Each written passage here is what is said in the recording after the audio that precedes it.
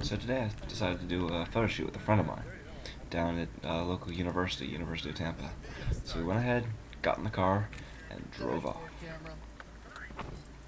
We got to this really cool park that they have here outside the university. It's really well lit. I love it for photos and stuff because you can always get a good shot in any kind of light. The scenery is really well done. They've done a really good job sculpting some of the grounds and everything. There was this big metalwork that I got some really cool pictures of one of the architects had put in while I was there. And of course squirrels, because what campus isn't complete without squirrels everywhere. We kept on going and went ahead and ended up in one of the bookstores that the uh, university has. I always have to stop at bookstores whenever I go to a university because they're cool and always full of interesting stuff.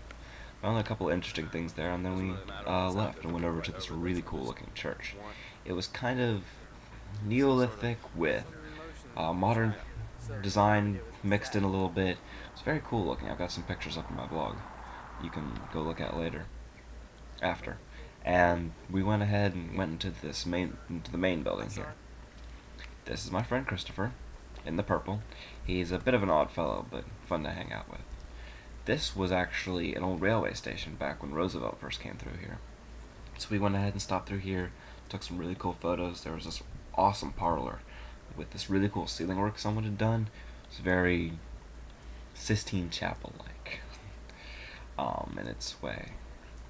And that's what I did today. I hope you guys enjoyed it. Have a great day.